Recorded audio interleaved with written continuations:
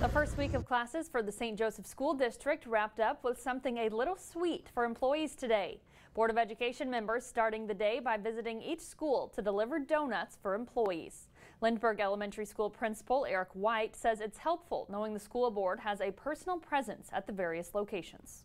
It really makes it feel like we're all in this together, like we're in this as a district, from the top all the way down to the school level. So from the Board of Education, central administration, down to the building level with teachers and then students and families too.